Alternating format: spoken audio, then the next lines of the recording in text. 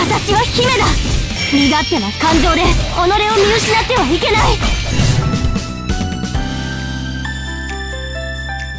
魔法でカエルに変えて尻に爆竹詰めようと思ってた。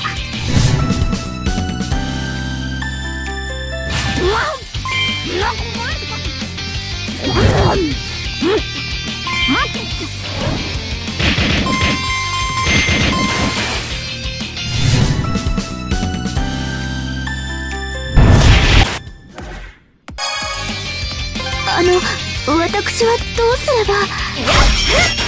小さくて抱きしめたいほど愛らしゅうございましたわ。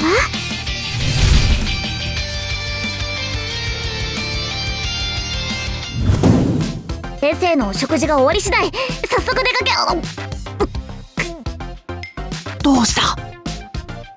食べ過ぎた朝食のせいでお腹いっぱいで動けません。